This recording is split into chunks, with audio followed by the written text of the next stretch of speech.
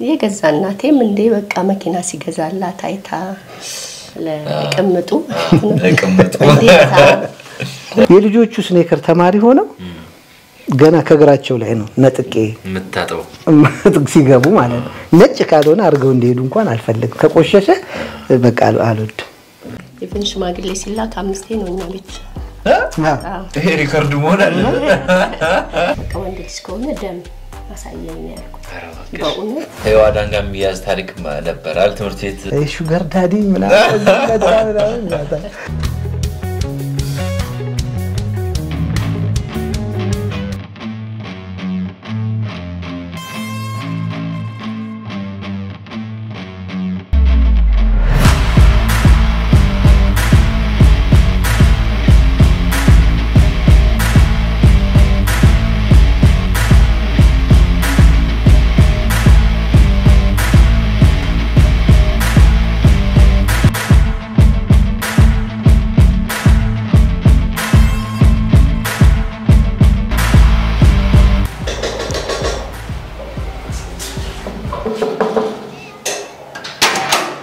ኤፊ እንኳን ደህና መጣ። እንኳን ደህና ቆየኝ። እንዴት አደራችሁ? እንዴት ነህ? በጠዋቱ በጠዋቱ ደስ ይላል። ለዛ ነው በጠዋት? ገናኝ። የጠዋት ሰው ነህ ኤፊ?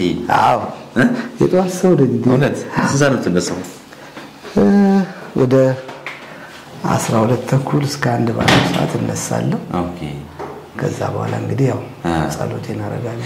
ያው እንግዲህ ከተቀጣጠርን ቆይተናል። እግዚአብሔር የፈቀደው ጊዜ ዛሬ ሆነና እንግዲህ እግዚአብሔር የፈቀደው ቀን ይሄ ነበር ማለት ነው። ቤታችሁን ከዚህ ቀደም እንግዲህ ልጆች እናያዳል ወደ ተመልካች አድርሰው እያየው ነበር።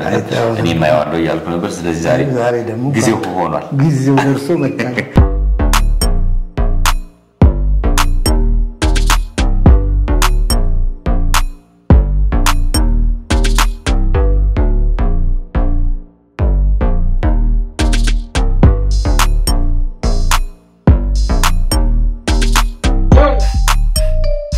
የት እንጀምር? እንግዲህ መጀመሪያ መቼም ቁርስ እንብላ። በጠዋት እኔ ቁርስ ለምጄ በጠዋት ነው የሚሄደው ደስ የሚል ደግሞ የጠዋት ቁርሱን የበላ ሰው active ሆኖ የሚውለው። ተዘጋጅቷል ወይስ ገና? ያው እናደራርሰዋለን። ማን ነው የሚሰራው? እኔ ነኝ እንዴ? ኧረ ተው፣ ኧረ ተው። ለዚህ ደግሞ አንሳለሁ? እውነት? ይሄማ የኖርኩበት ነው። የኖርኩበት ማለት? ብዙ ጊዜ በቃ ቤቴ cook ማድረግ በጣም ነው የምወደው። ለልጆቼ አብስዬ አበላለሁ። ባለቤቴ የምር? በጣም ነው የምወደው። የሚገርመው። wow!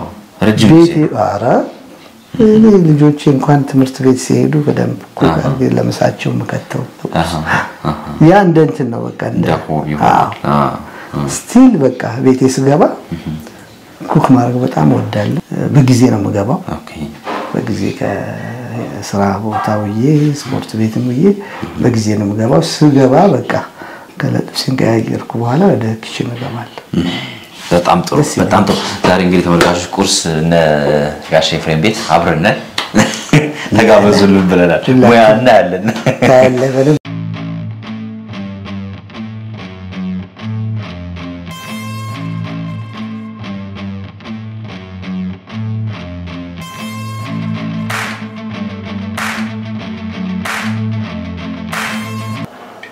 በጣም ብዙ ጊዜ የምትሰራው ምግብ ምንድን ነው አንተ? እንትን እወዳለሁ። ምን? ፍርፍር normal? ፍርፍሩ። ፍርፍር በጣም ነው የምወደው። እንትን እስክንል እንግዲህ እኔ አሁን እንዳልኩ ያው ምግቡ ላይ አሃ እያልኩ ዝም ብዬ ማየት ብቻ ስለሆነ መከታተል ማየት ብቻ ማየት ነው። አሁን እንግዲህ? ገብተህ ቤት? ግቤት ቤት ገብተህ ደግሞ መቀጠል ነው አንተ። እንዲህ ስንት በየቤቱ ምንም እኮ? በየቤቱ እየሄድኩ አየሁ። እኔ ልለምድ አልቻልኩም። ኧረ እባክህ እውነት በደንብ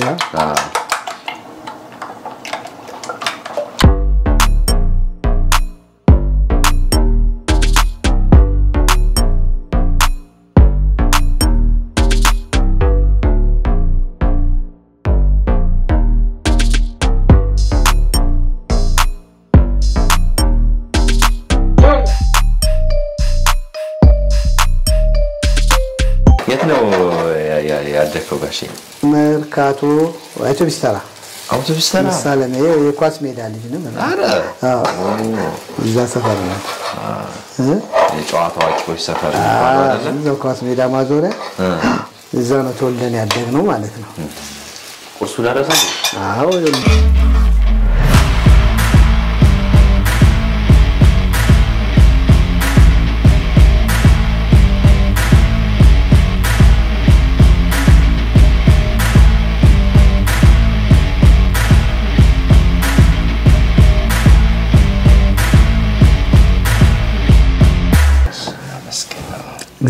እናመሰግንሃለን። ስለዚህ ስለዚህ ሰዓት ስምህ ይባረክ። ጌታ ሆይ ፈቅደህና ወደህ እንድንገናኝ ስለረዳህን እንባረካለን፣ እናመሰግናለን። እግዚአብሔር ሆይ ከፊታችን የቀረበው ማዕድ በስምህ ስልጣን የተባረከ ይሁን። ለእኛ እንደሰጠህ እንደመገብከን ላጡም ለተቸገሩትም ሁሉ ከማያልቀው በረከትህ ከሰፊው እጅ እንድሰጣቸው እንጸልያለን። በስምህ ስልጣን የተባረከ ይሁን። በጣም የሚጣፍጠው እንዴት? እውነት በጣም የሚጣፍጠው እሷ እንደው ፍርፍር ብዙ አትወድም እና እኔ ስሰራ በጣም ነው የምትበላው። የምን ግን ያው ቀጥታ ወደ ወሬያችን ገባና ጋሼ ሳንተዋወቅ ሳታስተዋውቀን እኮ ቤተሰብ እዚህ ቤት ውስጥ ማን ማን ነው የሚኖር እነማን ናቸው እርሳቸውስ ማን ናቸው የሚለውን እስኪ እንግዲህ አሁን እዚህ ቤት ውስጥ ያለ ነው። እኔና እሷ ነን። ያው ልጆቻችን አድገው የራሳቸውን ኑሮ መስርተው ወጥተዋል። ሴቶቹም ያው ወንዱም ውጭ ላይ ያለው አሁን እንግዲህ እንደ ድሮ እንደ ሙሽርነታችን ጊዜ ሁለታችን ብቻ መኖር ጀምረናል። አንዳንዴ እላታለሁም እኔ የድሮ መሰለኝ ገና ሳንወልድ ምናምን ተያይዘን ስንወጣ ማለት ነው። እና ያ እንደገና ወደዛ ነው የተመለስነው። ሶዲ መር ትባላለች።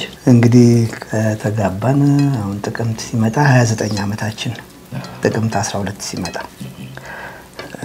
ሶስት ልጆች አፍርተናል።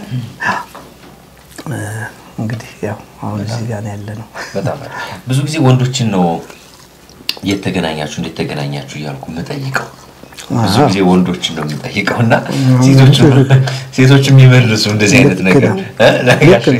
ልክ? ነው። ሁል ጊዜ የሚጠየቀው እንደዛ ነው። ይቀየር አሁን ተቀይሯል ዛሬ አስራ ሁለት ማትሪክን ወስጄ ያው ውጤት እስኪመጣልኝ አንድ የግል ድርጅት ውስጥ ተቀጥሬ ይሰራ ነበርና እዛ እኔ የምሰራበት ድርጅት ውስጥ ይመጣ ነበር እሱ እቃ ለመግዛት። እና ትውውቃችን እንደዛ ነው። ስለዚህ ማለት ይሄ በተደጋጋሚ መምጣቱ መግባባቱ ነው ምንድን ነው? ብዙ ጊዜ ነው የፈጀብን። ላለ- ዝም ብሎ ይመጣል አዎ፣ ላለ ዝም ብሎ ይገዛል እኮ እየገባ ትገዛለህ። የማልፈልገው ነው። ከዛ ደግሞ አልፎም ተርፎ እህቶቹ ነበሩት፣ የእህቱ ልጆች ነበሩ።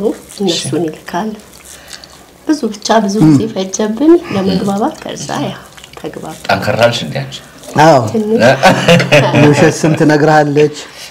ከዛ ትጠ- እንትን ትጠ- ትጠፋለች። እኔ ደግሞ እዛ ቤተሰቦቼ ቤት ቤት ሰራ ነበር ግቢ class ለብቻዬ ማለት ነው። እና ያችን ቤት ሰርቼ እንዲህ ጨርሼ ያው ኤሌክትሪክ እቃ ምናምን መጀመሪያ ለነሱ ለመግዛት እሄዳለሁ። ከዛ በኋላ የማያስፈልግን ነገር ነው የምገዛው ለመሄድ ማለት ነው። እየተመላለስኩ ማለት ነው። ያው በመሀል እንግዲህ መግባባቱ በደንብ መጣ። ግን ያው ጠንከር እንዳለች እየነገረች አዎ። ትንሽ መጀመሪያ አካባቢ ከዛ የውሽ- የውሸት ስም ነግራኝ እውነቷን ነው። በቃ ይሄ ስም በቃ? እንደውም ራሄል ነው ያለችኝ ስትለኝ ይሄ እውነትም ራሄል ፊት ናት እቺ ያልኩና? ራሄል ፊት ነች በቃ ልክ ነው ብዬ አምኜ ቁጭ ብዬ ነበር። ያው በኋላ ላይ ግን ለምን ብቻ አይደለም እ፣ ብዙ ነገር ነው የደበቅሽው? ስልኬንም ዋሽቼ ነው ስልክም? ሌላ ቁጥር ነው የሰጠሁት። ምንድን ነው እኔ ሳየው በጣም በቃ ዘናጭ ነው፣ ጎረምሳ ነው ምናምን እና በቃ የለም። አንዳንድ ሰዎችን ነገር ዱርዬ ይመስለኛል። አዎ፣ እኔ- ይባላል። እኔም ልጅ ነኝ። በዛ ሰዓት ትዳርም የማስብ አልነበርኩም፣ ግን በቃ እንደዛ በማለት ዱርዬ ስለሚመስል ስለነበረ ቆንጆ ነው፣ ዘናጭ ነው። አረብ ነው መስለው ደግሞ አይደል? እምቢ አልኩት። በቃ ረጅም ጊዜ። even ሽማግሌ ሲላክ አምስቴ ነው እኛ ቤት። ይሄ record መሆን አለ። ለአምስት ጊዜ ነው የተመላለሱት ሽማግሌዎች። አምስት ጊዜ ሁለታችሁ መጀመሪያ አልጨረሳችሁ ነበር ጉዳዩ? ያው ቤተሰብ ደግሞ አንደኛ እኔ በጣም ለቤቱ ትንሽ ነኝ ማለት አምስት ታላላቆች አሉ። በዛ ሰዓት ልጅ ናት። ልጅ ስለሆንኩኝ ያው አባቴም አልፈቀደም ነበረ ልጅ ስለሆንኩ ነው። ይሄም አለ እዛ ግን ይሄ ያው በላ ጊዜ ተሳካና ዋው አምስት ጊዜ ሽማግሌ ከተላከ በኋላ እንግዲህ ወዲያው አብራችሁ መኖር ጀመራችሁ? አዎ ጊዜ አልፈጀንም። ወዲያው በቃ ወዲያው በቃ ተጋባን፣ አብረን ተጋባን። ፕሮግራሙ በቃ ሐምሌ 19 ተፈራረምን። እዛ ምሳ በላን መናፈሻ። ከዛ ሶደሬ ነው የሄድነው። የእኔ ሚዜዎች የእሷ ሚዜዎች ሆነን እህቷ ወንድሞቿ የተወሰኑ ምናምን ሆነ ሶደሬ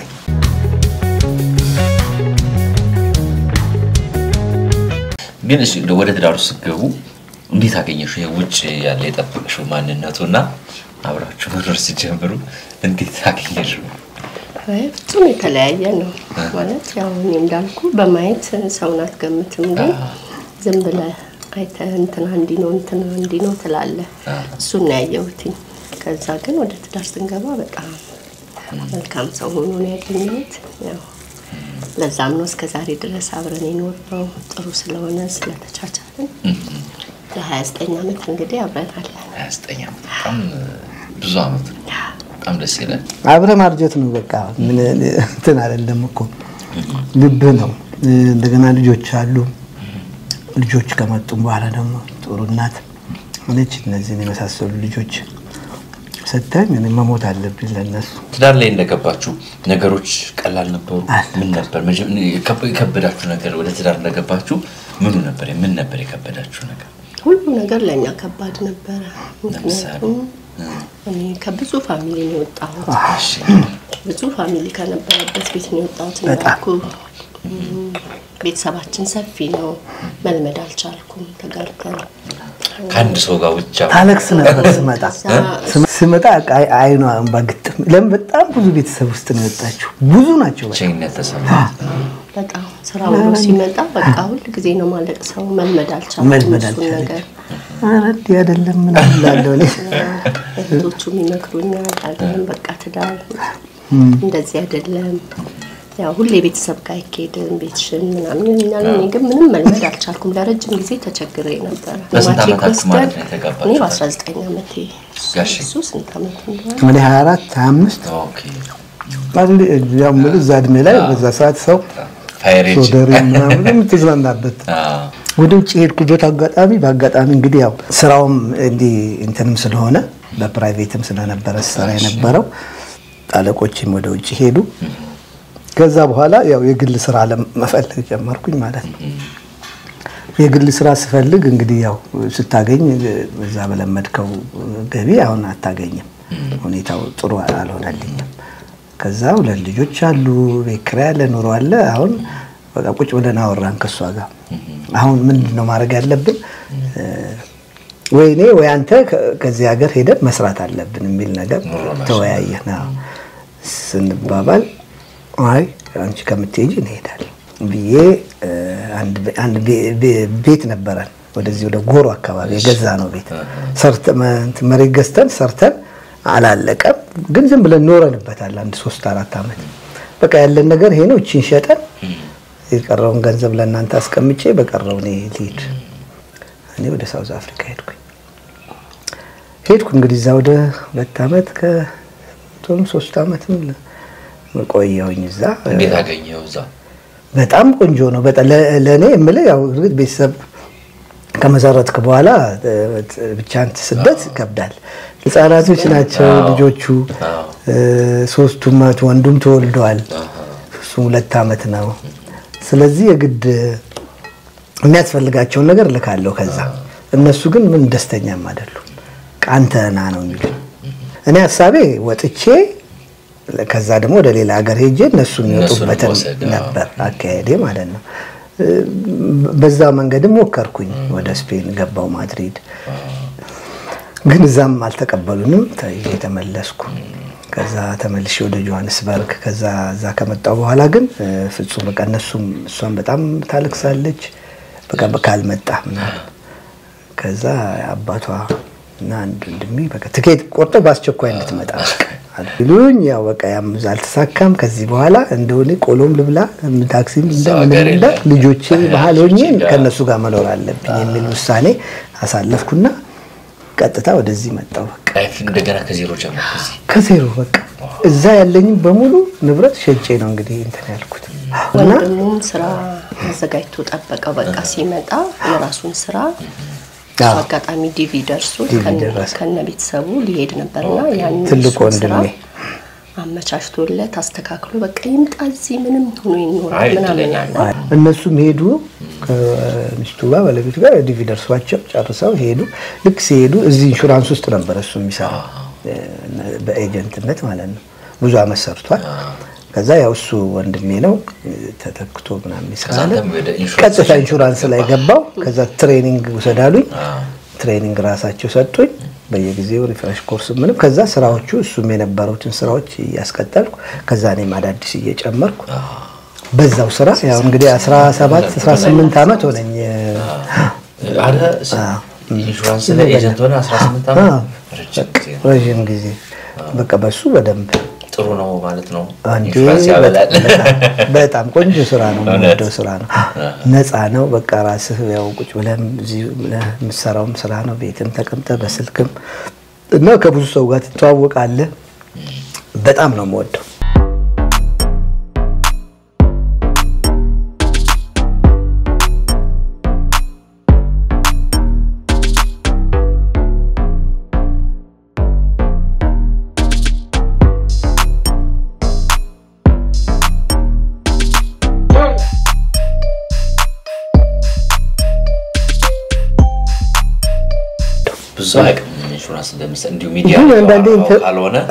እንዲህ አንዳንድ interview ላይ ምንድን ነው ሌላ ተጨማሪ ምናምን ይጠይቁኛል። ያው ኢንሹራንስ agent ነኝ አዋሽ ኢንሹራንስ ምናምን ላለው ግን ሰው አብዛኛው ብዙ ላያውቅ ይችላል።? ተጨማሪ ነው? art ኡ እንግዲህ ከዛ በኋላ ከኢንሹራንስ ቀጥሎ ነው። አዎ እንግዲህ ያው ከተወሰነ ጊዜ በኋላ ያው የ art እንትኑ ስላለኝ ውስጤ በሰፈሬ አንዳንድ ነገሮች እንቅስቃሴ እናደርግ ነበር። በኋላ ያው ልጆቹም ትንሽ ከፍ ከፍ ሲሉ ያው ሙያውንም ስለምወድ ወደ ትምህርት ቤት ገባው ቶም ቶም ገባሁኝና እዛ ሁሉንም ተማርኩ። እንግዲህ ያሉትን acting ኡንም፣ script writing ኡንም፣ ካሜራም ሁሉንም ነገር ጨርሼ እሱን ተመረኩኝ። በቃ ከዛ በኋላ እዛው ትምህርት ቤት ውስጥ እንዳለው ልንመረቅ ስንል ነው አስተማሪ audition ውሰድ አለኝ። አንዱ አለም ይባላል። እስቲ ከሰዓት ናና audition ውሰድ አለኝ እዛው ጣይቱ። ከዛ እሺ ብዬ መጣው። audition ወሰድኩኝ። በቃ እዛ ላይ cast አደረጉኝ። የአንድ የባንክ ማኔጀር ገና ሲጀምር እንግዲህ ማኔጀር አደረጉኝና? ጀመርኩኝ ከነ ጽኑ ቃል ላይ እነ ኤርሚያስ? እነ ማህደር እነ ኤልያስ ምናምን ብቻ ካሉት ከዋና ከሚባሉ ጋር ጀመርኩኝ። ጊዜው ከነገ ጀምሮ እረፍት ስለምፈልግ ፍቃድ እንድሰጠኝ ይፈልጋል። የተፈጠረ ችግር አለ? ዝናው ሲመጣ ምን አለ? አላወቅኩም። ቶም ተምሮ እስኪመረቅ አላወቅንም። እውነት በእውነት አልነገራችሁም? አልነገረንም። እሄዳለሁ ጠዋት በቃ ስራ ሲሄድ ያው ለባብሼ ወደ ኢንሹራንስ ነው የምሄደው። የምናውቀውና እሺ ልመረቅ ነው ምናምን አለ ምንድን ነው ምናምን አይ እንጂ ቶም ተምሬ አለ። ያው እናንተም ቦታ ቦታ ላድርግ ብዬ ነው ውስጡ ፍላጎቱ ነበረኝ አለ። ያው ተማረ። የሚገርም ጠዋት ወጣና እንዲህ ያው ኢንሹራንስ ስራ ለባብሰህ ምናምን ነው የምትወጣው። ስራዬን ስሰራ ውልና አምስት ሰዓት ላይ ጣይቱ ሆቴል ግቢ ውስጥ አለ። እዛ ደግሞ የኛ የአዋሽ branch ቢሮ አለ። okay እዛ ገባና ኮቴን እዛ ቢሮ ሰቅላለሁ። ከዛ? ከከረባቴ class ነው የምገባው እየበላ class እገባለሁ። በደንብ attend አድርጌ መቅረት ሁሉ አልወድም። በቃ በጣም focus አድርጌ ነበር አሁን ልነግርህ አልችልም። ያለፈውን ጊዜ ስታስቢው አሁን ያላችሁበትን እንደ ቤተሰብ ምን ይሰማሻል? እስኪ ሁሉም ያደረገ እግዚአብሔር ነው። ከኛ ምንም የሆነ ነገር የለም። ሁሉም የሱ ነው እና በጣም ነው ደስ የሚለኝ ሳያቸው። በጣም ከማየትም በላይ ደግሞ ብዙ በቃ ሰው ይወዳቸዋል። የሚሰሩትን ነገር በጣም ደስ ይለናል ይላሉ ሰዎች አስተያየት ሲሰጡና እሱ እሱን ሳይ በጣም ነው የምደሰተው። እሺ አሁን እንግዲህ ተመልካቾች እያዩ የት ሄደው ነው እናንተ ቤት ስመጣ እነሱንም ሊጠብቁ ይችሉ ይሆናል ይኖራሉ ብለው እና ምን ልበላቸው? ያው ልጆቻችን ከኛ ጋር አይኖሩም። እንደነገረ ቅድም ሶስት ልጆች አሉ። ያው የመጀመሪያ ልጃችን ዮአዳን ናት ሁለተኛዋ ስዊት ናት፣ ሶስተኛው ዮዋኪን ነው። ሁለቱ ሴቶች ለብቻቸው ተከራይተው መኖር ከጀመሩ እዚህም ቤት ሳንገባ ነው፣ ረጅም ጊዜ ነው አብረው ነው የሚኖሩት። ወንዱ ልጃችን ደግሞ ለትምህርት ወደ አሜሪካን ሄዷል። እነሱ ደግሞ ዱባይ በስራ ወደ ስራ ለመግባት በጣም እንቅስቃሴ ላይ ናቸው። ዱባይ ላይ? የራሳቸውን company ከፍተዋል። office አላቸው እዛ። ያው እዚህም እዛም እያሉ ነው። ብዙውን እንትን የሚሉት ወደዛ ነው። እንግዲህ ጋሼ በጣም ወደ ህዝብ የታወቀበት ዋዜማ ድራማ ነበረ ተከታታይ በጣም እና እዛ ላይ እንግዲህ ከትዳሩ ውጪ የሚማግጥ ብዙ ብዙ ነገሮች በጣም ከበድ ያለ ተከታታይ ድራማ ነበረ። ብዙ የአሁን ዘመን ልጆች ካልሆኑ ቀደም ያሉት ተመልካቾች ያው ያስታውሱታል በደንብ ብዬ አስባለሁ እና እንደው ምን ነበር አንቺ ጋር የነበረው ስሜት? ሰውስ እየመጣ አስተያየት አይሰጥሽም ነበር? እንዲህ ባልሽ እንደዚህ ሆነ እንደዚህ አይነት ነገር አይ በጣም ብዙ ሰው አስተያየት ይሰጠኛል። እኔ አንድ ፀጉር ቤት ነበረኝ እና እዛ አንዷ ባለቤቴ እሱ እንደሆነች እንዲሁ እያወራን አወቀች ማለት ነው። የእሱ ሚስት ናት ምናምን ተባለች እና እሳ እናቴ እኮ በጣም ነው የምትጠላው አለችኝ። በጣም ነው የምትረግመው በየቀኑ አለችኝ። ለምን ስላ አይ እንዴት በቃ ሚስቱን አስቀምጦ እንደዚህ ሚስቱን እንዲያሳብዶ ምናምን አይ እሱ ማለት እንደዚህ እንደዚህ ነው ለልጅቷ ነው። እናትየውን እኔ ያላገኘዋቸውም እና ነገርኳት ማለት ነው። እዛ ላታምነኝ ትችላለች ብነግራት፣ ግን ከአንቺ አንደበት ስለሰማሁት አለች። አንቺ ሚስቱ ነሽ፣ ከአንቺ በላይ ምስክር የሚሆን የለም። እዛ በሌላ ቀን ስትመጣ ው በቃ ይቅር ይበለኝ አለች እናቴ። ኧረ እንዳይረግሙት ነው ያልኳትኝ እና የገዛ እናቴም እንዴ በቃ መኪና ሲገዛላት አይታ ለቅምጡ ለቅምጡ። ሁለት እናት ነው ያለኝ። ገጠርና አዲስ አበባ እና የገጠሯ እናቴ እንዴ እንዴት ለልጄ ሳይገዛ? አንዳንድ ሰው እውነት ይመስለዋል ፊልም ላይ ያየው እውነት ነው የሚመስለው እና ከዛ የተነሳ እንዴት ነው ታምኚዋለሽ? እንደዚህ ነው በቃ እኔ ጨጓራ የተቃጠለ ትለኛለች አንዷ ዘመዴ። እሱን እያየው እኔ ጨጓራ እየተቃጠለ ነው ትለኛለች። እሱ ሰው በጣም ሰው በጣም ነው በፊት ላይ በተለይ አሁን ቤተሰብ ሲታወቅ እንትን አለ እንጂ አሁን አንድ ጊዜ እንደውም ስፖርት ቤት በፊት ሰራ ዳዲ አፍሪክ ሰራ ነበር በፊት እና እዛ reception ኑ ጋር የሆኑ ሴትዮ ትልቅ ሴትዮ ናቸው ቁጭ ብለዋል። ለ therapy መጥተው መሰለኝ። ከዛ ያው ስፖርት ቤት አብረን የምንሰራው ጓደኞቼ ብዙ አሉ በደንብ ነው የምንግባባው። እና ልክ ሻንጣዬን ይዤ ስገባ አዩኝ። በስማ ምናምን ምናምን ብለው ከዛ እዛ የሚሰሩትን ከዚህ ከተረገመ ሰውዬ ጋር እንዴት? ትሰራላችሁ? ይሄ እንደው በቃ እንዴት? ኧረ አባባ ማማ እንደዚህ አይደለም ምናምን ሊያስረዷቸው በፍጹም በቃ ያን ያህል ሰው በቃ አዎ። አንድ ጊዜ ደግሞ አንዱ ሊፍት ውስጥ እንዲህ ተገናኘን። ሊፍት ውስጥ ነኝ፣ እሱም ሊፍት ውስጥ ነው። ብሎ ያየኛል ከላይ እስከታች በቃ። እኔ መነጽር አድርጌያለሁ እንዲህ ለብሼ ከዛ መጣሁለት። ከዛ ልክ ሊፍቱ ከፈትና ሲል የተረገምክ አንተ አሁን ልጆች አሉ? አለኝና ወረደ። ተጽዕኖ እና even ከዮአዳን ጋር የሚያዝ ታሪክ ነበር አይደል? ትምህርት ቤት ከእሷ ጋር ሁሉ ምንም ሰው አያውቅም። በቃ። እሷ እዛ አራት ኪሎ ዩኒቨርሲቲ ስትማር ጠዋት ይዣት እሄዳለሁ አንዳንዴ ላደርሳት። ከዛ አድርሻት በሩ ላይ ከዛ ቻው ብላኝ ስማኝ ስትወርድ በቃ እሷን ይሏታል። የ sugar daddy ምናምን ምናምን ይሏታል። ኧረ ምናምን አባቴ በኋላ ነው የታወቀው እኮ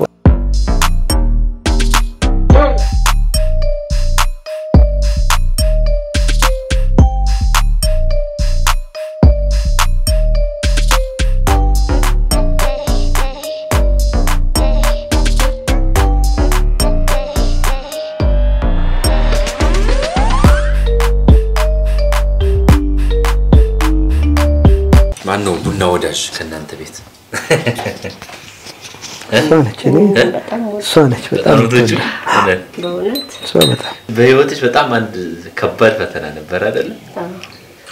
በጣም የተፈተንኩበት ያው ብዙ ብዙ ነገሮች አሉ፣ ግን በጣም ለኔ የከፋ ጊዜ ብዬ የምለው እ፣ ሶስተኛ ልጄን እርጉዝ ሆኜ ያሳለፍኩት ምንም አይረሳኝም። እና በህይወቴ የማረሳው አንድ ቀን በጣም ርቦኝ እሺ አንድ ቀን በቃ በጣም ምርር ብሎኝ ከዚህ በፊት ልጆቼም ተናግረውታል የልብ ወግ ላይ ጥላሁን ጉግሳ ቤት ነው ያመራሁት እሺ እና እዛ የባለቤቱ እህት ጋር እንግባባለን። መስኪ ትባላለች። አሁን በህይወት የለችም። እሷን ፈልጌ ነው የሄድኩት። ምክንያቱም ያው ብዙ ነገሬን ታውቃለች። ስለ ራቤን ስለነበረ እንድበላን የፈለግኩት ሌላ አይደለም። ተያይዘን ሄድን። ቁልቁለት ነው የጥላሁን ጉግሳ ቤታችን ያለው የረርጋ ቁልቁለት ሄድን። ይዛ ስናንኳኳ አጋጣሚ ሰራተኛዋ ናት የከፈተችው። አለ ሰራተኛዋ እኔ ምንም ማለት አል- አልፈለኩም የለችም ማለችኝ። እሺ ውሃ ስጪኝ ብያት ውሃ ጠጥቼ እንደገና እያለቀስኩ ነው ዳገቱን የወጣ ነው። አይ ያንን መቼም አልረሳውም። ይህ ማለት ግን እኛ እኔና እሱ ተቸገርን እንጂ family ዎቻችን ጥሩ life የሚኖሩ ጥሩ ህይወት የሚኖሩ አልፈው ተርፈው ለሌላም ሰው የሚረዱ አባቴ ስልሳ ሰራተኛ በስሩ የነበረ እንደዛ ነበር። ግን ያው በአንዳንድ አለመግባባቶች በእምነት የተነሳ ትንሽ መጋጨት ስለነበረ እኔም እጅ አልሰጥም በሚል እምነት ምን ሆነ? እኛ ያው ፕሮቴስታንት ማለት ሁለተኛዋ ልጅ የነርጉዝ ከሆንኩ በኋላ ነው ፕሮቴስታንት የሆነው። በዛ ምክንያት ያው ቤተሰቦቼ ደጋፊ ስላልነበሩ ወይም አልተቀበሉንም። በሰዓቱ በዛ ምክንያት ነበረ ተቸገርኩ ምልህ እንጂ አባቴ ብዙን ሰው የሚያበላ ለብዙ ሰው ምሳሌ የሚተርፍ፣ የሚተርፍ አባት ነበር እና ያው እኔም እጅ አልሰጥም ብዬ ነው ብሄድ ይቀበሉኛል። ግን ያው ላለመመለስ ከራሴ ጋር ትግል አድርጌ በእንደዚህ ሁኔታ እሱን ጊዜ መቼ ማረሳውም ረሃብን አውቃታለሁ ለማለት ነው። ኤፊ አንተ ጋርስ የነበረው በዚህ ጉዳይ? ያው ነው ያው ጥሩ ጥሩ ኑሮ ነበረ የምንኖረው ልጆቻችንን ወልደን። የሆነ ወቅት ላይ ነው እንደዚህ አይነት ነገር ተፈጠረና በቃ እኔም አንድ መኪና ነበረችኝ አላልኩም? እሷን ወደ ታክሲ ያረኳት ታክሲ አድርጌ ያው ድሮ እንግዲህ የምትሰራው ያው እየቆምክ ነው እንደ ላዳ ነገር ነው። ቀለም አስቀብቼ ብዬ ያው እሱም ጓደኞቼ ናቸው ቀለም አስቀቡልኝ እና እንደዛ አድርገን እንደውም የእሷም ወንድም ነው አንዱ ያስቀባል ከዛ ያው የታክሲ ስራ ታውቋለህ መኪናዋም ትንሽ እያረጀችም ስለሆነ ከምትሰራበት ጊዜ የማትሰራበት ጊዜ ይበልጣል፣ ይበላሻል። ያንን ለማሰራትም ገንዘቡም አቅም አይኖርም። እንዳልኩ እሷም ሶስተኛ ልጅ እርጉዝ ናት። ችግሮቹ በጣም በቃ ይደራረባሉ። ለስራ ወጥተህ ብር ሳትይዝ ወይ መኪና መንገድ ላይ ተበላሽቶ እመጣለሁኝ። እንደገና ያንን ለማሰራት ምናምን ብዙ challenge ኦች ነበሩ። አሁን እንደዚህ ፊቴ ሁሉ እንዲህ አልነበረም። ሁኔታ። በሙሉ ፊቴ ማዲያት በማዲያት ነበር።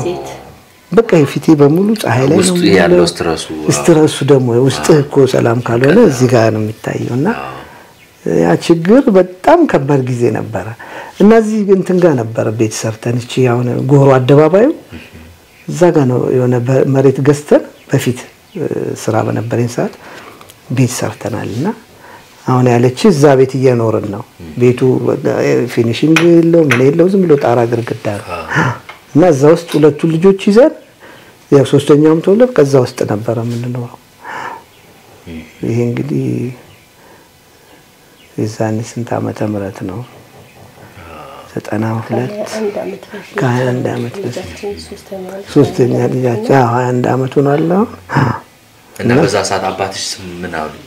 አይ አባቴ እንደዚህ አይነት ሁኔታ ላይ እንዳለ አያውቁም አያውቁም። ያው አንገናኝም ከፋሚሊ ለመሸሽ ብለን ሸጎሌ ከተከራየነው ቤት ያላለቀ ቤት መተን ገባን። ማለት ቤተሰብ ሽሽት፣ እምነቱስ እንትን ካላችሁ በኋላ አዎ መጣን ወደ እምነት ከገባን በኋላ እኛ ከዛ በቃ ማንም እንዳያገኘን ያደረግነው። ምክንያቱም የነበርንበት ነገር ሰው ምንድን ነው የሚያስበው አንተ ስታጣ ስትቸገር ከእንደዚህ እምነት ወደዚህ ሄዳ ነው ምናምን የሚል አስተሳሰብ አመለካከት ስለነበረው እኛም እሱ እንዲታወቅ አልፈለግንም። ቀጥታ በቃ ለማንም ሳንነግር ወደዚህ በኋላ ግን አንዳንዴ እህቶቼ እየተደበቁ ይመጡ ነበር ምናምን በቃ እርግዝናዬም የከፋ ነበረ፣ ከአልጋ ማያስወርድ ነበር። በኋላ ግን የእሱ ወንድም ቤት ነው ሄጄ የወለድኩት። ስወልድ ራሱ የወንድሙ ሚስት ናት ያረሰችኝ። ብሎም እዛ ጨርሰን በቃ አርባ አምስት ቀን ምናምን ክትባታችንን ጨርሰን ወደ ቤታችን የገባ ነው። አባቴ ብሎኛል በህይወት እያለ እስቲ ይህንን ነገር ታዩና ይህን እምነት ተዉትና ይህን መኪና አለ እሱን ይውሰድና በእሱ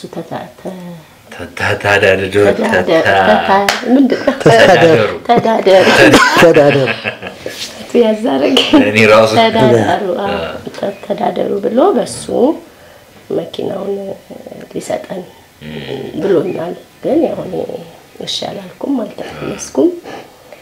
ቀጠለ እንግዲህ እሷ የእርግዝናዋ ጊዜ ራሱ bed bed rest ተብላ ካልጋ አትወርድም፣ እንዳትንቀሳቀሽ ከተንቀሳቀሽ እዚህ ሆስፒታል ነው ማስተኛሽ ነው ያላት ዶክተር። እና አይ በቃ ዛኔ ዛኔ ታክሲ አርጌ ይሰራ ነበር። እንዳልኩ ስድስት ሰዓት መጥቼ ምግብ እኔ ነኝ ሰጥቻት ምናምን። እንደገና ተመልሼ አራት ኪሎ ነው ቆሜ የምሰራው። እዛ ዩኒቨርሲቲ ጋር ነው። ብዙ ጊዜ እዛ ነው የምሰራው። ልጆቹን ትምህርት ቤት አደርስና እዛ ጋር ቆሜ እስኪጨርሱ ዘጠኝ ሰዓት ሲወጡ ይዣቸው ነው የምመጣው። እና ከሰዓት መጥቼ ደግሞ እዚህ እሷን እንትን ብያት ወደ ወር ከምናምን ብቻ አልጋ ላይ አል- አልተንቀሳቀስሽም እንትን እስከሚረጋጋ ተብላ ማለት ነው። እና እዛ ጊዜ ላይ የነበረው challenge ደግሞ ከባድ ነበረ። ሁለቱ ልጆቼ ሴቶች ነበሩና ወንድ ልጅ በጣም ነው የምወደው። ያው በቁጥርም ከቤተሰቤ ወንድ ወንዶች አነስ ይላሉ፣ ሴቶች እንበዛለን እና ያ ተጽዕኖ አሳድሮብኝ መሰለኝ ወንድ ልጅ ለማግኘት በጣም ካለኝ ጉጉት ከማርገዜ በፊት ጸልያለሁ። ከዛ ካረገዝኩም በኋላ ሳቀው ደግሞ በቃ እንግዲህ በዚህ ችግሬ ላይ ልጅ ከሰጠኝ ወንድ ይሆንልኝ አልኩኝ። እንዲህም ተቸግሬ ግን ምልክት እንዲሆነኝ አንድ ነገር አሳየኝ አልኩት እግዚአብሔርን። እሺ በቃ ወንድ ልጅ ከሆነ ደም አሳየኝ ነው ያልኩት። በእውነት እንዲህ ብዬ ነው የጸለይኩት። ይሄ ከዛ ከባድ ነው በጣም ከባድ ነው። ከዛ በሁለት ወር ከአስራ አምስት ቀኔ አንዲት የኛ ህብረት የሆነች ልጅ ታማ እሷን ለመጠየቅ ሄጄ ስመለስ ናዝሬት school እሱ ልጆቹን ሊያወጣ እዛ ነው የተቀጣጠርነው። እኔ ወደ ሰሜን ነበር የሄድኩትኝ ሰሜን ሆቴል አካባቢ ስመለስ ልክ ከታክሲ ስወርድ ልብሴ ደም በደም ሆኗል። እኔ ደግሞ መኪና ታች ነው የማቆምላት። እና ታች ቆሞ ከቀደምሽ ብሎ ቁልፍ ሰጥቶኛል። መኪና አንድ ቁልፍ እሱ ጋር አንዱ ቁልፍ እኔ ጋር ነው እና ከታክሲ ወርጄ እንትን ስል ደም በደም ሆኗል ልብሴ ምናምንና ምንድን ነው አልኩኝ። ግን አልተደናገጥኩም። ወዲያው ምንድን ነው የመጣልኝ ወንድ ልጅ ከሰጠኝ እንደማሳየኝ ነው ያለው የሚለው ነገር መጣና ያው እግዚአብሔር በትንሹ አያውቅም። እኔ ትንሽም ብል እንዲያሳየኝ ነው የፈለግኩት፣ ግን በደንብ ነው እንትን ያልኩት። ከዛ ወደ ድንበሯ ሄድኩኝ። ድንበሯ ስሄድ አይ መውጣት አለበት ይሄ ልጅ አይሆንም አለችኝ። እኔ ግን የጸለይኩት ጸሎት ስለነበር አሁንም አልተቀበልኩም። ከዛ የጥላሁን ጎሳ ሚስት ጋር ደወልኩኝ ሄለን ጋር እና እንዲህ እንዲህ ተብሏል ምናምን ስላት አይ አንድ ቦታ አይተሽ ብቻ እንዳትወስኝ ራስ ሂጂና ዶክተር ኤፍሬም ይባላል እዛ ሄደሽ አለችኝ። ሄድኩ እዛ አየኝ። እሱ አልትራሳው እንዳየ ልጅሽ እኮ በህይወት አለ፣ ግን ልጅሽን ለማትረፍ bed rest ነው የሚያስፈልግሽ። ከዚህ በኋላ መንቀሳቀስ የለብሽም ማለት ያው ዘጠኝ ወር ካልጋ አልወረድኩም። ከቤት ቤት ቤት እላለሁ እንጂ አልጋ ላይ ወጥቼ ሌላ ማህበራዊ ምናምን ነገር አልጋ ላይ በዛ ያንን ልጅ ተወለደ እልሃለሁ።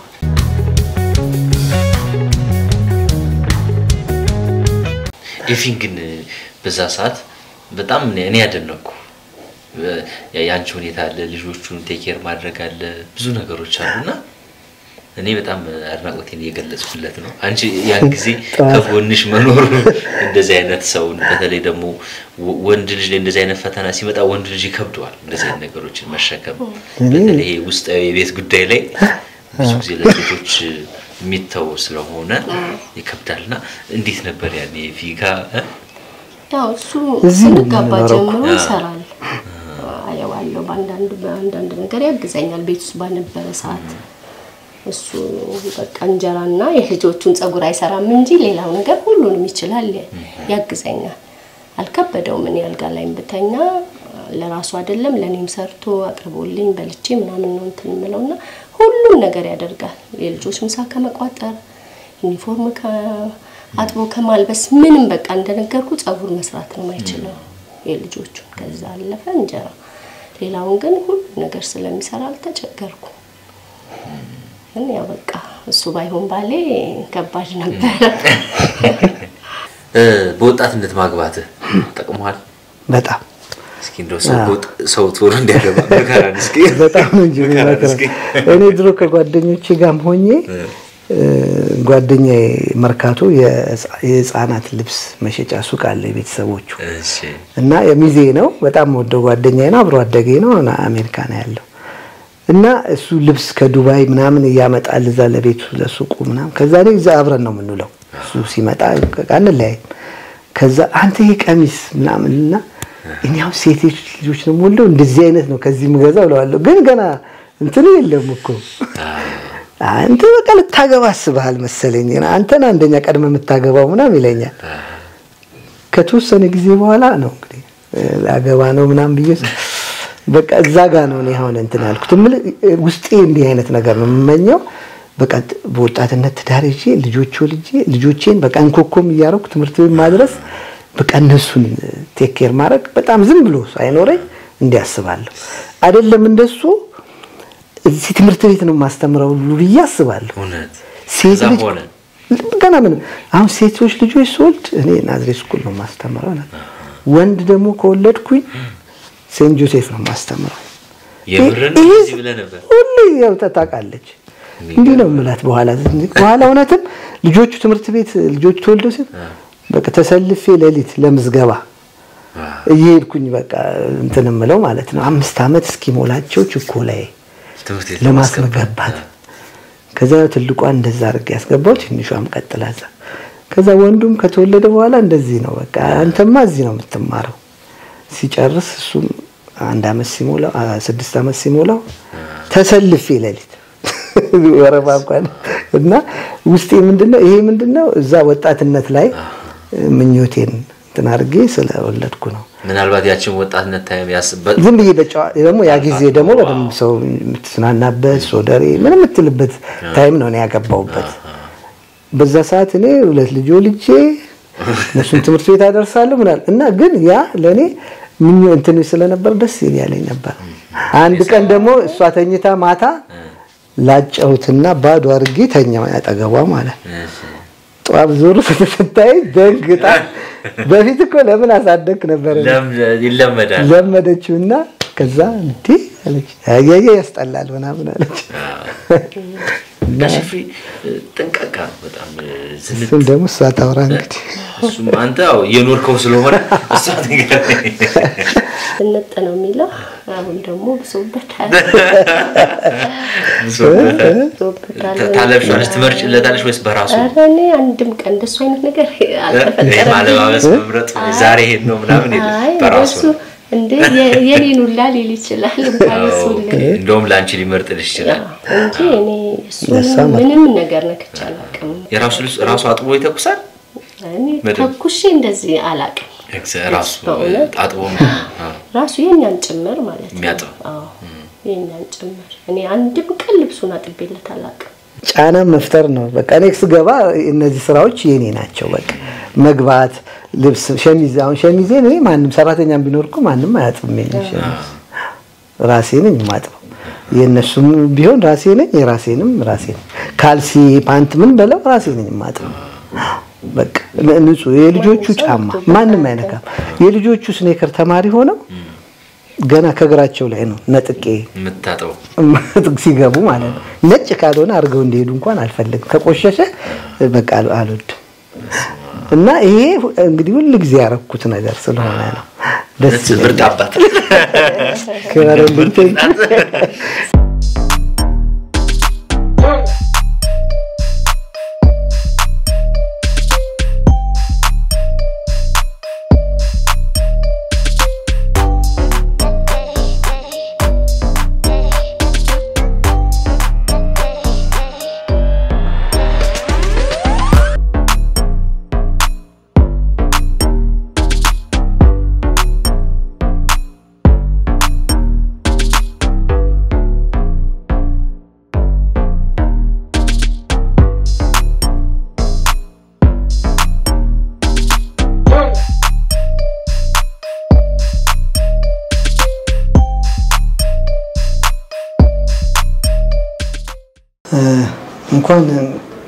ወደ ኦዚያን የፊልምና የማስታወቂያ ፕሮዳክሽን በሰላም መጣችሁ።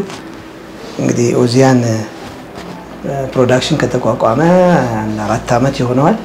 በዚህ በአራት ዓመት ውስጥ የተለያዩ ማስታወቂያዎችን አንዳንድ ብራንዶችን አስተዋውቀናል፣ ሰርተናል። ማስታወቂያ ስራዎችን ጥሩ ጥሩ ስራዎችን የሰራ ነው። ይህንንም እንግዲህ የኦዚያን ፕሮዳክሽን የሚል Instagram page አለ። እዛ ላይ ገብታችሁ የሰራናቸውን ማስታወቂያዎች ማየት ትችላላችሁ። በተረፈ ስለመጣችሁ ስለጎበኛችሁን በጣም ነው የምናመሰግነው። thank you